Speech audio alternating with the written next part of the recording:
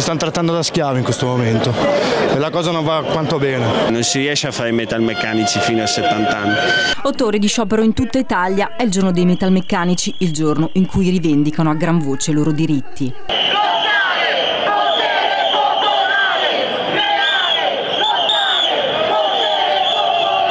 Vogliamo essere visibili a qualsiasi governo e tornare ai tavoli per discutere anche della nostra parte, dei dipendenti, okay, della categoria dei metameccanici.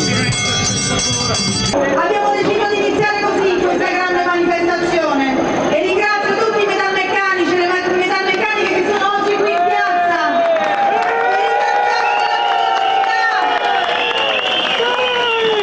Le strade di Milano si tingono di rosso, verde, blu e bianco, sono i colori del lavoro. Oggi siamo in una fase di grande cambiamento, il digitale, le tecnologie, bisogna ripensare i prodotti, bisogna pensare a non inquinare e basta guardarsi intorno, tutto ciò che si vede intorno è fatto da persone che sono metalmeccaniche, anche, anche gli strumenti che sta usando lei sono metalmeccanici, se vede intorno tutto quello che avviene ed è fatto con l'intelligenza delle persone, quindi rimettere al centro non il metalmeccanico, rimettere al centro le persone persone che per vivere hanno bisogno di lavorare, i loro diritti, la loro intelligenza e la loro qualità.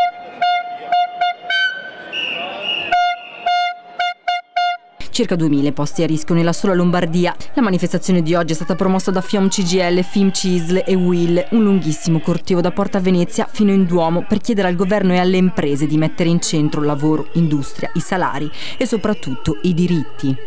Ci spacchiamo le spalle otto ore e loro devono capire veramente chi sono davvero i lavoratori che lavorano e che si spaccano la schiena. Quindi chiediamo più salario anche, più dignità. Fa parte dell'Italia questo settore, se no non va, va in crisi tutto, se no.